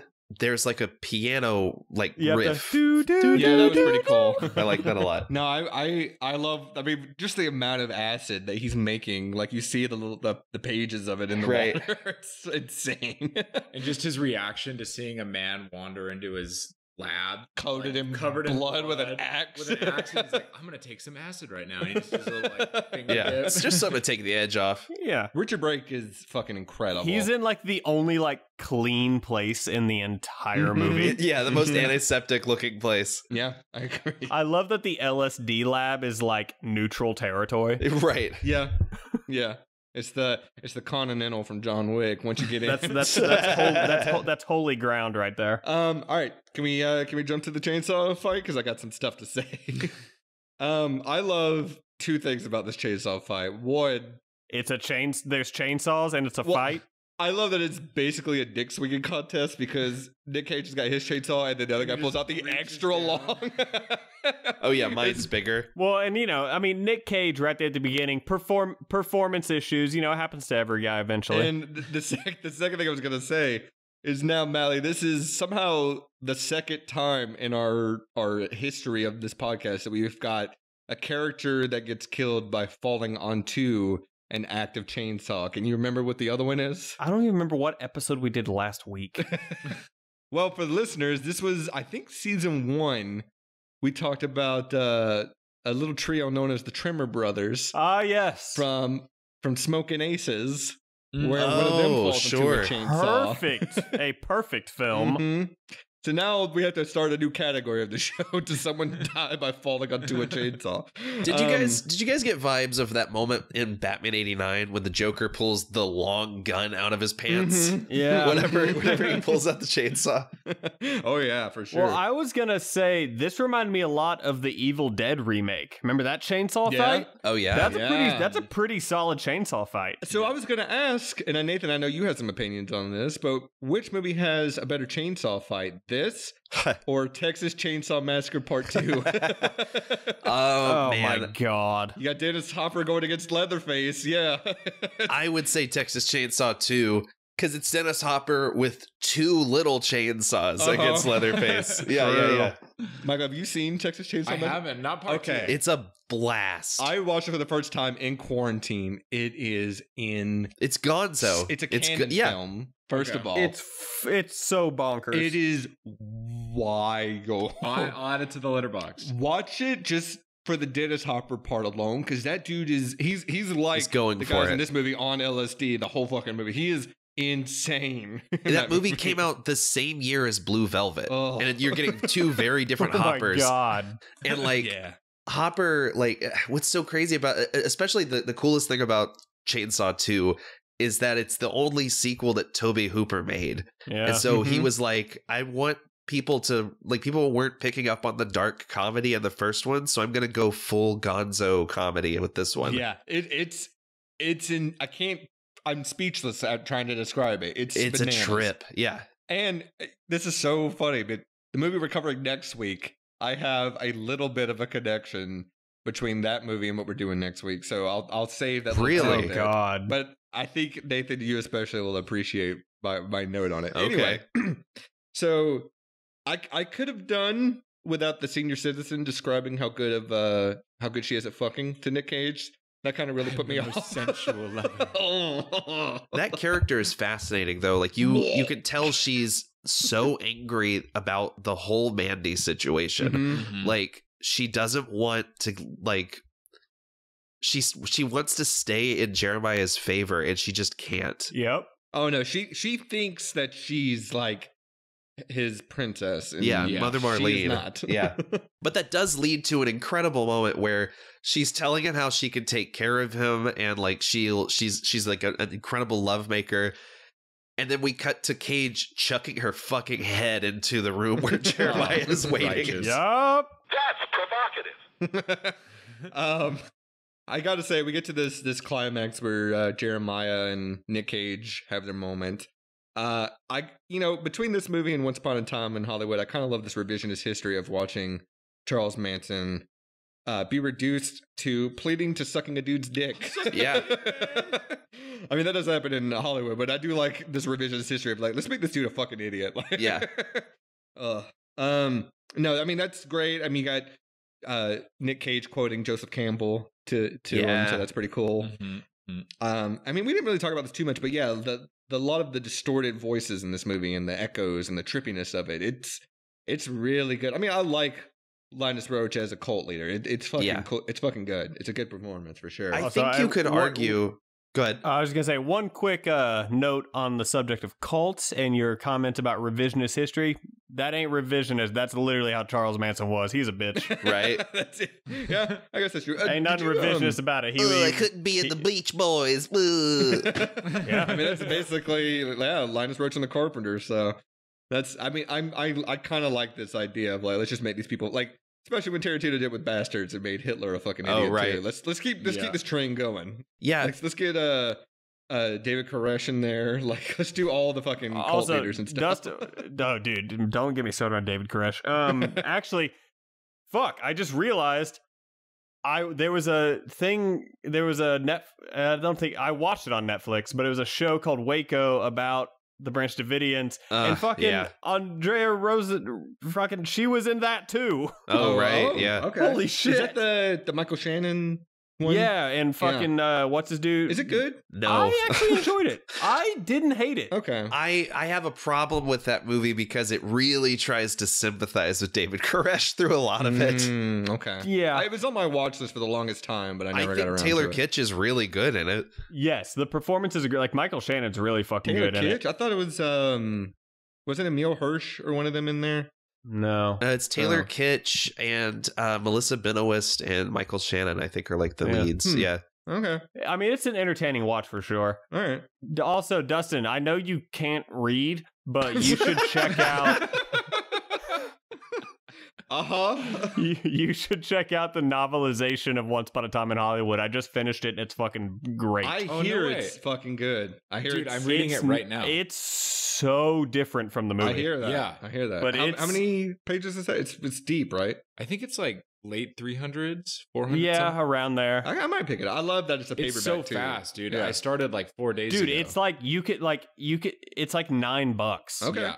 I might have to pick that up. I'm I'm about to start reading a, a novel for a movie we're cut, we're doing later on in the season that I'm not looking forward to reading, but Uh-oh. maybe I'll pick it up after that.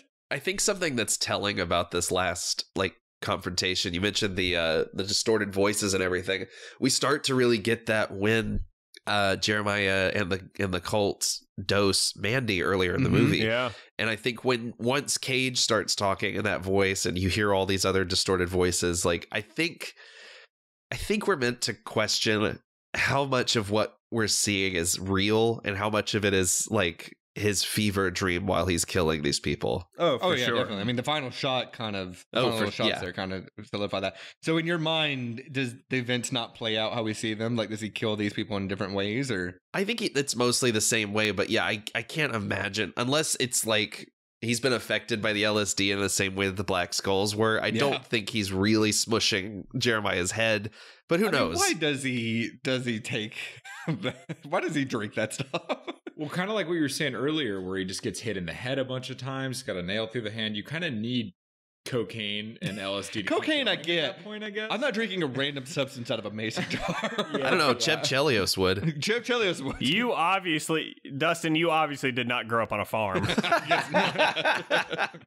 the only time I can remember eating or drinking anything that I wasn't 100% sure what it was was as a kid, probably six or seven. Uh-huh. I remember sneaking into the kitchen and dipping my hand in like a jar of like sugar, like just pure Mm. sugar.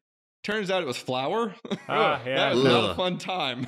I learned my lesson. There. We've all been there. I learned my lesson. yeah, no, see, grow, growing up on a farm, they were just weird liquids in mason jars everywhere. So, you know, you I just it. you, you had a little fun. Like I believe that. There was one time I thought I got went into the fridge and you know mason jar full of water. I was like, great. Turns out it was the water the green beans had been soaking in. It tasted weird. Oh. Wow. Oh. But you know, it's luck of the draw, baby. Yeah. It's fine. It is what it is. Sometimes you're just gulping down bean water. Oh. I don't feel so good. Um, I feel, anyway, gr- I feel great. Did anyone um feel like this, the ending of this movie was kind of reminiscent of the ending of Midsommar?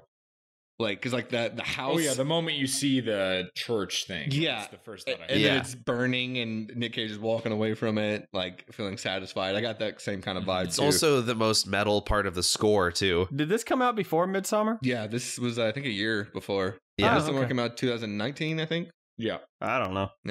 So let's recap the ending. Um, actually, Nathan, this is your pick. Why don't Yeah. you tell us kind of what happens at the end of this movie? All right, Yeah, so Nathan, do something. Do something besides sniffle and cough. Um, so so Red kills all of the children of the New Dawn, squishes Jeremiah Sands' head, sets his church on fire, steals a car, drives away, and has a memory of the first time he and Mandy met, and then suddenly sees her sitting in the car next to him smoking a cigarette and g- grinning like a madman drives off into the sunset which now resembles one of mandy's paintings or almost like the cover of the novel she was reading earlier in the film. Yeah. and the implication is that he is completely lost his mind. Yeah, it's kind of like um, it made me think about the the security guard at the amusement park in Good Time, sure. where they just pour all Pour the that of acid. Yeah, Oh, I don't think out of any movie I've ever seen there was a character that I felt more terrible for. Yeah. like that dude is uh, brain Gone. dead. no, yeah, the, the the final shot's incredible with the the Yeah. planets in the background, and everything. I kind Mhm. of forgot that's what the ending of this movie was. I I thought from what I remember he just kind of drives away, but yeah, that was a nice little surprise for me. yeah and then the credits roll over silence Dead Yeah. silence. Bold choice. yeah. Bold Effective, choice. though. Um, we do get slight KG almost whenever we get the cut back to to red big and he's grin. got the big Yeah. eyes and the grin. Yeah, Mhm. iconic shot first of all. for yeah. sure. Um, yeah, I mean, did you guys know there's a post credit scene for this movie? What? no So it's the, the the term is used loosely here, but at the end we get a uh, uh a mention uh, in loving memory of Jóhann Jóhannsson, which is nice. Oh, Oh, good. okay. Yeah. But also, it's followed up by this image here that I'm showing you guys, and I'll put in the show notes. But it's essentially concept art for the movie. Um, you've, you've Oh. got very, um, I mean, you've got Nic Cage smoking his, his cigarettes and stuff. Oh my god, is that Lizzie? Well, you got like like Mandy and like uh like heavy metal kind of uh artwork style. Like yeah. it's pretty interesting. Like there's like a minotaur and stuff, or a centaur, whichever. Oh yeah, look at that. Mm, I think that, I think that is supposed to be Lizzie, but it looks like a wolf. Yeah. The drawing of Cage with Lizzie is the the image in the gatefold of the Mandy soundtrack on vinyl. It's Yeah. fucking Oh, sick. Oh, you're talking about this image. I thought you were talking about Yes. this up here. I was like, this looks like a wolf, Oh yeah. but it might it might be Lizzie. No, we're talking about the big ass thing that takes Right. up half the screen, Right, you right, right. jackass. Forgive me for there being two animals. on another note, I really want that. I would love to have this soundtrack on vinyl. It'd be fucking great. Absolutely. It- Yeah, that would be it's, cool. It's so good. I, I got a copy of it after the movie finished. I was like, I gotta go back get that. I listened to this out. I, I I've listened to the soundtrack more times than I've watched the movie. I listen to it a lot when I'm writing. It like really gets me in the zone. It's funny you say that because I again hadn't seen this movie until today, but I've heard the score hundreds of times yeah. Oh wow, yeah. because a couple of my friends watched it and they called me or I was talking to them like the next day and they're like, I was like, oh, how was it? They're like, dude, it's great. Also, the music sounds like the stuff you like you try to make, and I was like, cool, yeah. cool, great, great. No, this this soundtrack's great. It's it, it's a part of my writing playlist now. Like it's got good music to write to for sure. Hell yeah. What's what's the best score to write to? I think Interstellar's got a great score to write to. A lot of the music from Stranger Things, anything that's ambient, I think See, is good. I I Yeah. I can I couldn't write to Interstellar. I love that score. I couldn't write to it. I fucking hate the score. I hate the music in Stranger Things. I think it's fucking it's mediocre at best. okay. Um, I'm gonna go with I'm gonna go with the Fountain Oh yeah. or the Social Network. Yeah, Both phenomenal writing scores. I have a little bit of Gone Girls score in my playlist. Um, you know, I put a little bit of a little bit of everything in there, but for sure, it's a lot of it's a lot of Last of Us because that banjo is really great. uh yeah, Sure. that's fantastic. That's fantastic. I listen to a lot of uh, Carpenter Brut when I'm writing, and the uh, the score for Blood Machines, their Shutter, the Shutter movie they scored is so Really? fucking good. any good outrun soundtrack Yeah. or, or synthwave is is great for Oh writing. yeah, Yeah. It it depends on it depends on what you're writing though too. that's True. true. True, true. Uh, all right, fellas. Um, let's start getting into some of the good stuff of the show. Let's first talk about something that you've got a lot of choices for. Let's talk about Prop Cop. Oh, I got mine. Go ahead then. Well, I feel like the axe and all. I feel like the weapons are obvious. Yeah. So I'm not gonna go with it. I'm going wardrobe. I want his like fucking Halloween shirt. Okay. Like that's a dope shirt. I, dude, baseball tees are fucking cool. Like those three quarter Oh, sleeves. the with the tiger on it. yeah. It, well, I call it the Halloween shirt because it's black and orange, but yeah, it has the big tiger on it. Right. yeah. Yeah, you can get that. You can get that online now. Uh, I'm gonna one get of the that, company- Nathan. I'm yeah. gonna get it. do That it. That would be sick. Damn. um, did you guys hear about why they chose the number 44? No, Or at least the theories? Mm-mm. Jackie Robinson. you're too off. no. I'm gonna take a wild guess. um, apparently, the theory was that it revolves around a character from um, an unfinished Mark Twain novel. Oh, Um, Oh, the secret, the secret messenger or something. What's it called? I can't. Re- I can't remember. Uh, the mysterious messenger. It's something like that. I know Yeah. what you're talking about. Nathan, um, this is your pick. So Yeah. what what uh, what do you want to take from this movie? I like Mallie said. I think the Beast is too obvious. Also, I think you can buy it. uh, so I'm gonna go with the golden gun that the chemist reaches for. Oh hell Okay. yeah, Sick. nice, Yeah. That was dope. solid. Michael, is there anything you can recall that you were like that? That would be cool to have. Definitely his truck. I, Okay. the moment that thing Oh, rolled off the hell yeah. that sick like orange and red stripe going through it. I was like, yes. It's pretty cool. yeah. It's pretty cool. There's a lot of choices uh, that we could have went with. Would not want to drive that truck through Los Angeles though. Nope. Fuck. Parallel parking would be a bitch. Nathan, I mean, uh, Manny, I thought for sure you were gonna go with Jeremiah's sweet outfit, the robes that he has on. Pretty great. It's a good robe. I already have a set of robes, Dustin. I'm good. Yeah, but with those shoulders. Yeah, the shoulder pads he had on. it was like a Power Ranger villain. yeah, kind of. yeah, he looked like a time lord. yeah. yes. Uh, I went with a bunch of different options. There's the the fake book that Mandy reads, Secret of the Serpent's Oh, yeah. Kiss. Uh, I thought was pretty great. There's a vinyl record Jeremiah has. Thought that would be cool. But ultimately, I went with the Horn of Abraxas. Oh, good Oh, Cool. choice. Hell It's like oh, yeah. a magic Oh, conch like- shell. Yeah. Is that how from ne- Dustin? Next time I'm in LA, when like we're all gonna hang out, I expect you to just blow that horn, and then I'll just show up at the bar. Just assemble, assemble Dylan and everybody else. Time. yeah, just just assi- assembled Du Bois. assemble the boys. I am showing up in black leather. Just heads up. Uh, Michael, you're haven't been on the show in a while. This is a new segment we have introduced to us. Um, it's called Bit Part. So essentially, this is um, there's featured extras in the movie, which this movie doesn't have a whole lot. Right. But is there? Uh, I'll open up to supporting characters. Is there a character in the movie that you think would be fun to play? A smaller role, you know, can't be Nic Cage or anything like that. But I'll give you time to think. Nathan, uh, what about you? Is there a bit part that you would love to play in this movie? I would love to climb into a big costume and be Lizzie the Tiger. Hell yeah. Solid, solid. All right. Um, Mallie, what about you? Uh, all right. I'm. I, no offense. I feel like Dustin has to be Porky, right? It's not what I went with. oh, okay. Um, I'd just be a random black skull. You know, I already got the Okay. outfit. Oh, can we appreciate the fact that the black skull with the uh giant dick knife is named fuck pig in the credits? yeah, that's right. I saw that. That's the one I want to be. I want to be. Fuck. Pig.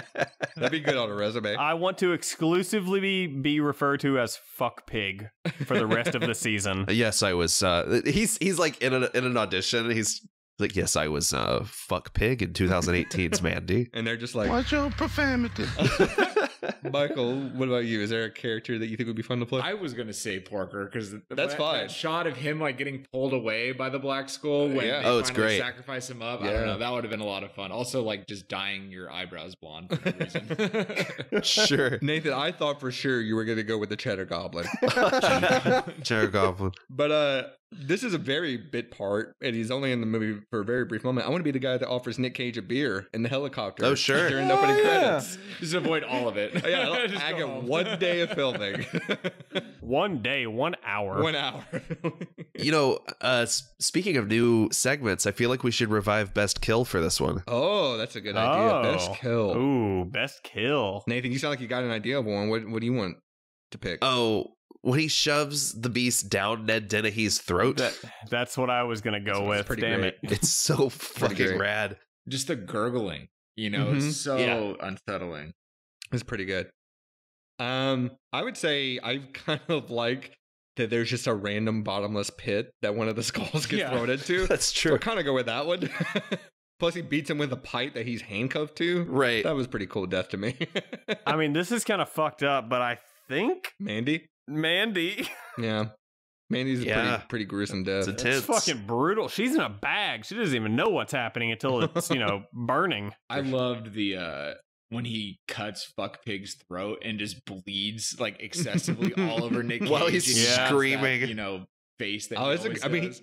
It, it's followed by him snorting the line of coke. So that whole death, I feel Yeah. like, is, is pretty great. all right. Um. Well, without further ado, the reason we're all here and the reason why we have the word try in our opening slogan Yeah. is we're going to try to find the silver lining of Mandy. Oof. So who wants to go first? I, I feel like I have a Mally answer. Okay. Oh, yay. Uh, Cage got his drugs for free. that, oh my God, that was my answer. And then I changed it. All right. I mean, that's a silver lining. um, okay. Ironically, my answer is the guy that makes the drug survived. The chemist survives. I'll Albeit less one tiger. Sure. That's that's the real silver lining. Lizzie doesn't get harmed. Yeah. yeah. Yeah. Um, I will say, um, mine is like I tried to have like an actual one. I mean, the, the obvious one How fucking dare you? is Nic Cage gets his revenge. Mandy gets avenged. Yeah, that was that was my original one. Yeah. But I went with um, something a little more um, emotional, and that is, although the ending is implied that Nic Cage is mentally just gone forever, um, I will say that he's still clearly evidenced by the ending. He still has that loving memory of Mandy. I mean, Yeah. we see when he first meets her and everything. She's in the car with him for a moment.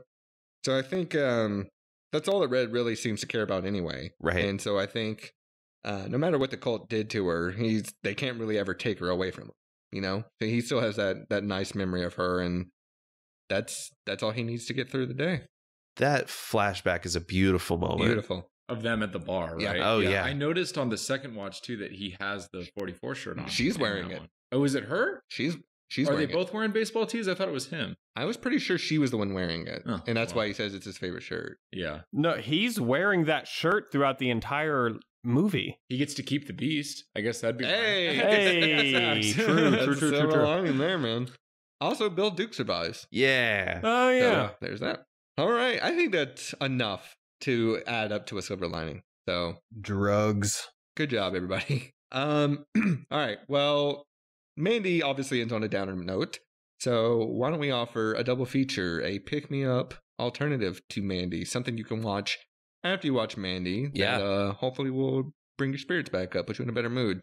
So, uh, Michael, I'll give you time to think about it. Um, Mal, let's go to you. Pick me up alternative. I mean, I'm pretty sure I've used this as a pick me up before, but it's a classic, so how can I not?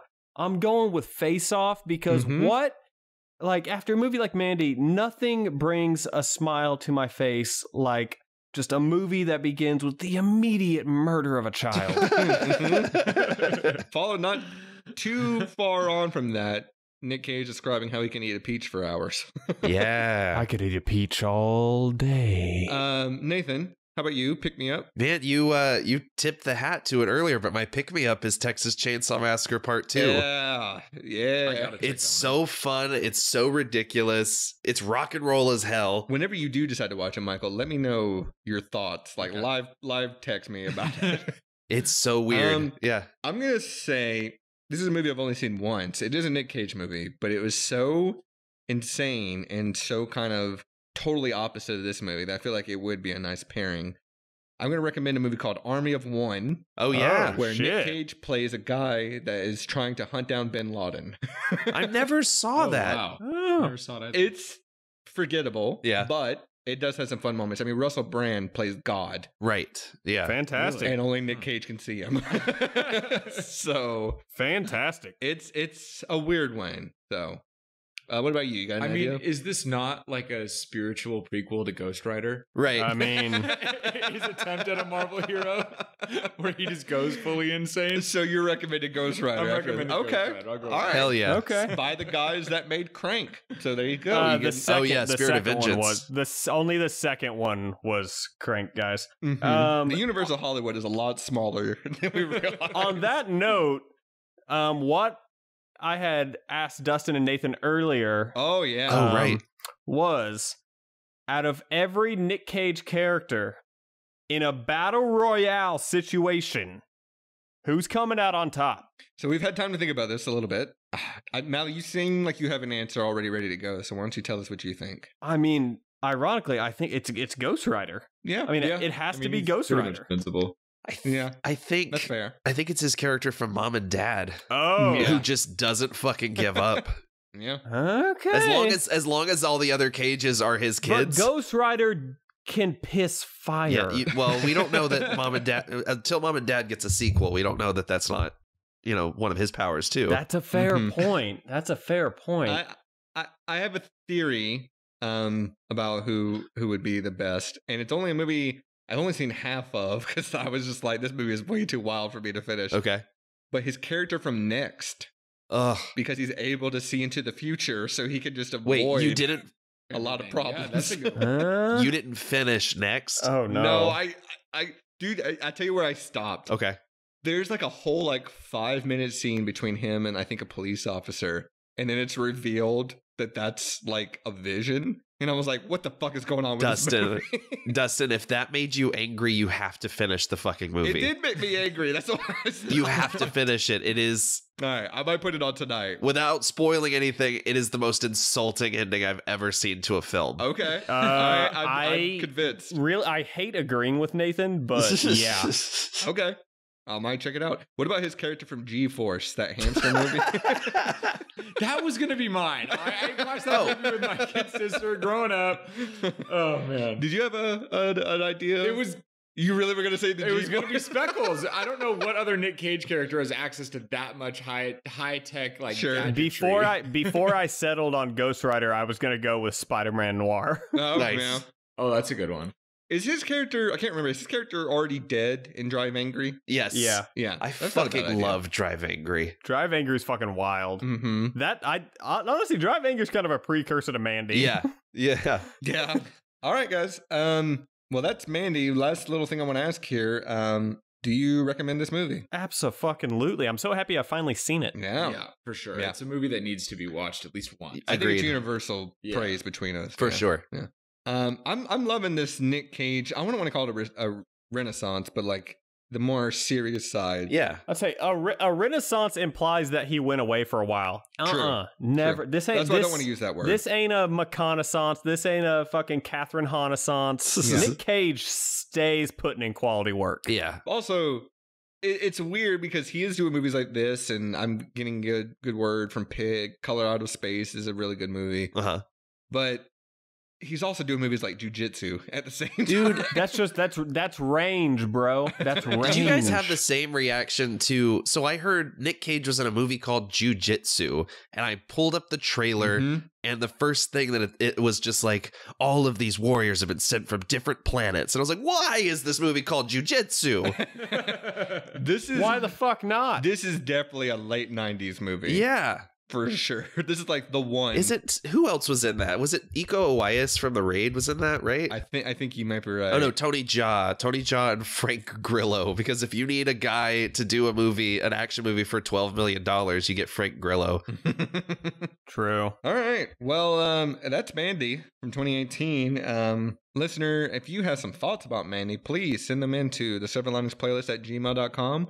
Or you can DM us on one of our many social media platforms on Facebook, Twitter, Instagram, or Reddit. Wait, real quick, let's not sleep on the fact that Nicolas Cage does have um, the unbearable weight of massive talent coming out next year. Oh yeah, I can't wait for that. A movie about Nic Cage. Very interested. With a f- absolutely phenomenal cast. hmm You got Sharon Horgan, Pedro Pascal, Tiffany Haddish, and Neil Patrick Harris. Yeah, I'm in. That's yeah. going to be amazing. I'm also kind of thinking they kind of uh, jumped way too quickly into doing this uh, Tiger King show. I feel like it's, uh, it's not it's not happening anymore. Yeah, the one with him got shelved. The one with John Cameron Mitchell is still happening though. okay. Hmm.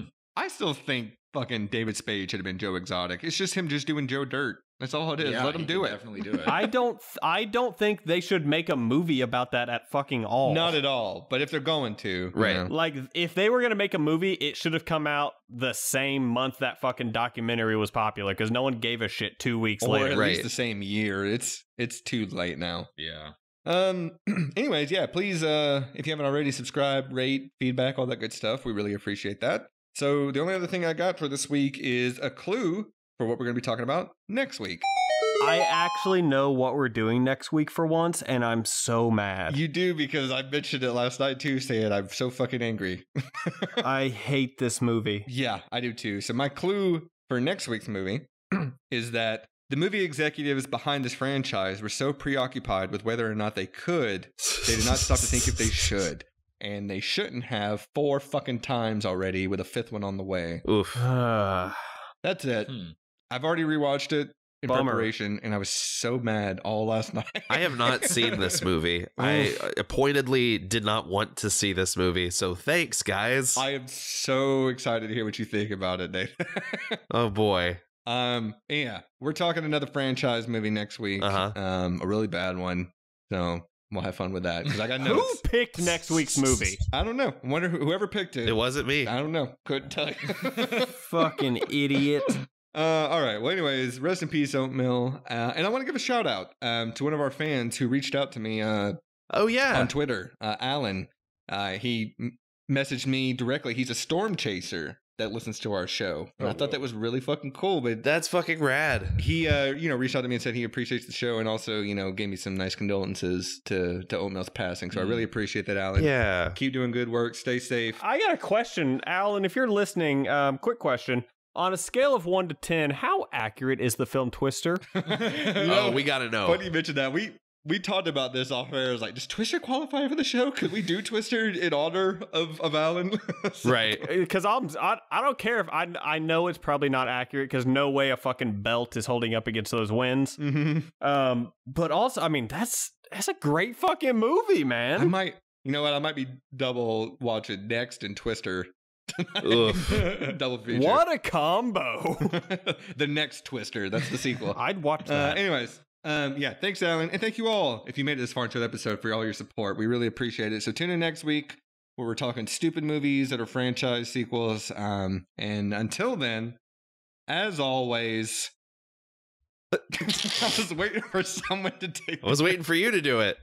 You teed it I, up. I thought I always What- do Excelsior, and I know Mallie's got something he's going to shout. And I was trying to remember the evil line that Nic Cage shouts, and I can't Well, remember. I- I did have something, but now I feel like the moment's passed. yeah, Yeah. it's gone. Fuck, we ruined it. I am your god now. Excelsior, guys.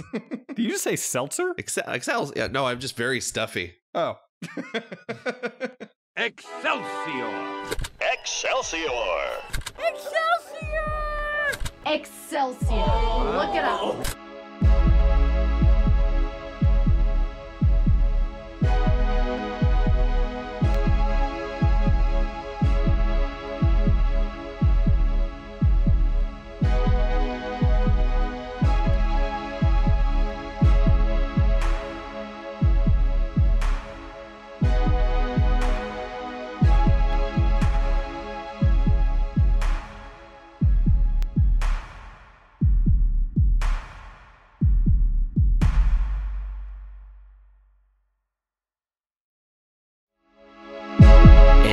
Wraps up another fantastic episode of the Silver Linings playlist. If you would be so kind, we ask that you leave us some feedback on how we did, plus a like and subscribe. We'll be back next week with another great episode. See ya!